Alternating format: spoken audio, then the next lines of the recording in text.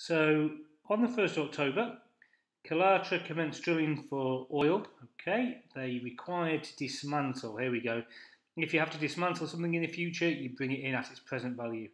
At the end of the five-year license, yeah, so it's in the future, and it's got a cost of 30 million. So we need to bring that down to its present value.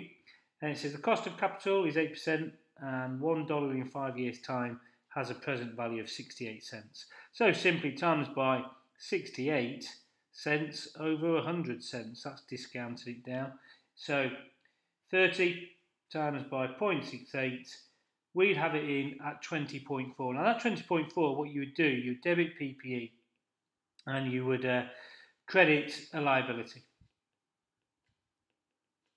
And then what you would do each year, you would then whenever you've discounted anything down, you need to unwind the discount. So let's just check. It says the provision, what would it be at the 30th of September X5, i.e., i.e. one year later? That's at October X4, one year later, September X5. Well, you take the provision of 20.4 million and you start to increase it up again because it has to get back up to 30 by the end of the uh, five years. How do you do it? Well, you just you, you it down at 8%, so you have to go back up at 8%. So times by 1.08. So that times by 1.08 comes to 22.032.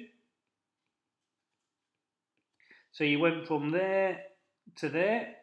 Uh, so that minus 20.4.